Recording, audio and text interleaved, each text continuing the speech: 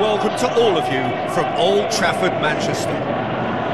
The teams then, Manchester United against Reading. I'm Peter Drury, and here with me in the commentary box, I'm glad to report, is Jim Beglin. Well, I can tell you, I'm truly delighted to join you, Peter, and, and thank you very much for that. Final words of encouragement, and the players emerge from the tunnel.